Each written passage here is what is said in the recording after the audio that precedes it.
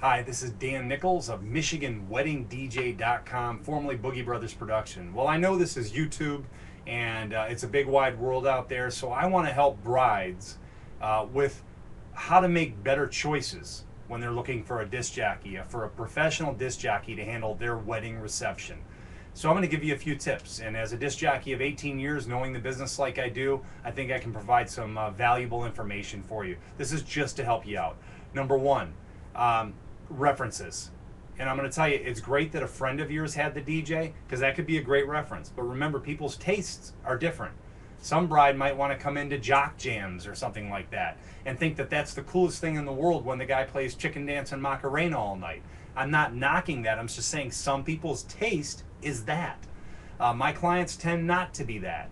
So be careful on how you get that. But I would say more than anything, consider professional references. Um, other vendors, photographers, florists, well, not, probably not florists because they're not actually at the event, but photographers and videographers are good reference sources. Uh, the banquet facilities themselves. But be careful here. Um, I am I have paid for to be in one particular venue to be on their reference list. The reason being is I probably get 10 to 15 jobs a year just out of that venue. But generally speaking, I will not pay to be on somebody's testimony or excuse me reference list. And a lot of the facilities now hand you these nice beautiful books loaded with references of all sorts of different pros. Know this. The pro paid to be in that. So the pro that came up with the money to be in that book, the bigger company maybe, uh, is not always necessarily the greatest solution for you as a bride. So professional references, but with all those caveats taken into consideration.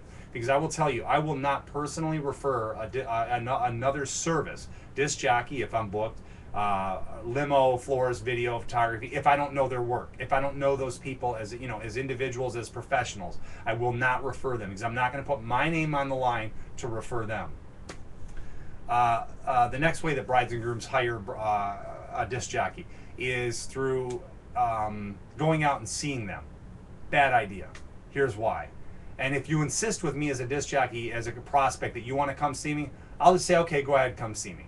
But I'm going to tell you why. You can walk in on a great disc jockey that has a bad crowd, or maybe just happens to be in a lull during that evening, or you can walk in on a really lousy DJ that, generally speaking, couldn't play his way out of a paper bag. And know this that when you see that disc jockey and you walk in on them they're not a good DJ, but they have an amazing crowd, because that happens once in a while. You get crowds that will come out and go nuts to any genre, any song. It could be a nursery rhyme, and they'll fill the dance floor. So even a bad DJ can make that can can look great with that with that type of a crowd.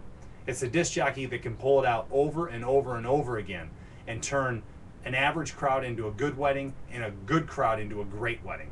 Those are the DJs you're looking for. So consider that when you go to watch them, unless you do as some brides have done with me before, gone out and seen me three or four times, as well as my competition three or four times, and taken an average, because now it's all of a sudden a more scientific approach to hiring the DJ. One sample does not a good uh, science experiment make. That's a Yoda thing. Anyway, so with that in mind, uh, consider consider that. Uh, price people say, Dan, why are you more expensive than company X, Y, and Z? And the answer is real simple because I can be. It's supply and demand. The, mar- the market bears down that, that force of supply and demand is, is common in all markets. So whether you're trading pork bellies or gold or silver or disc jockeys, supply and demand, a very big deal. So with that, uh, I'm just trying to think of other, of other things, you know, other, oh, um, testimonials too if you do uh, ask for some uh, references from a, from a disc jockey, make sure that uh, you do it this way. This is the big trick. If you don't happen to have a lot of professional references with them, ask them for, say, Dan, can I have uh, three references from the month of August? Um, so, like, look back like a month or two and just say, could you give me three references from that month? And then ask, and then ask the disc jockey for that. And then what I generally do when clients do that with me, which is rare because most people are too timid to do that, is I will shoot them an email and I will I will see I will CC the um, the the previous client of mine, the bride that I took care of a few months back, and I will CC her or the groom, depending on who my contact person was over there, and I will ask them, hey, would you mind talking to prospect Jennifer? She's looking to hire me as a DJ uh, for the next year, uh, and she just needs some some testimony from you. So those are great ways to hire a disc jockey. Keep that in mind. And I really wish you the best no matter where you are in the world in hiring your DJ. Uh, and also, you know, going to meet them at their at their home or their home office or their business office. That's also not a bad thing because sometimes you just need that comfort. Um, having been in the business, like I have for 18 years, I can tell you that I book 90% of my business. That is nine out of every 10 brides. I book them right on the phone now because I've been doing it long enough and because I don't send out other DJs. It's just me. You book me, you get me. From the initial sales conversation on the phone all the way through to the last dance. That's a value. And if you value that in a DJ service, then, you know, then knowing that disc jockey uh, and being able to work with that DJ all the way through uh, should be important to you, and you should pay attention to that as well. So, anyway, hiring tips uh, for a for a wedding disc jockey. Uh, I hope those helped you out. And uh, MichiganWeddingDJ.com. I've got a great report on how to, uh, what every bride better know to have a great wedding reception. If you scroll down the main page at MichiganWeddingDJ.com, scroll down the main page, and there's a little box in there somewhere. It'll say, uh, "Want my free report." check that out. I got 17 tips on how you can have a better wedding reception.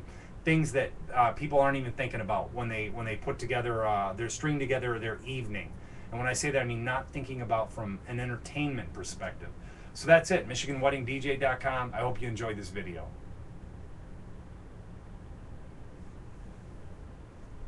I'm shutting it off.